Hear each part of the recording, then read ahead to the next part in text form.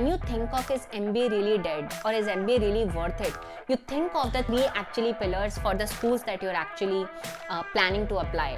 Does my school provide case-based contemporary learning?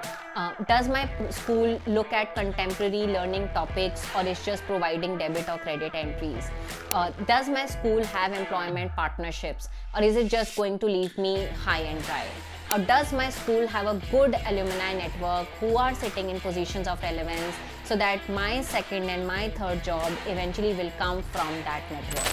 Top 30 Financial Times schools, and I know that the ranking keep on changing, but you get the gist. The top 30 Financial Times schools, Ivy League, Harvard, Wharton, your Tuck, in uh, Europe, you have INSEAD, London Business School. In India, you have Indian School of Business, ISB Hyderabad. I believe that their MBA degree will always be worth it.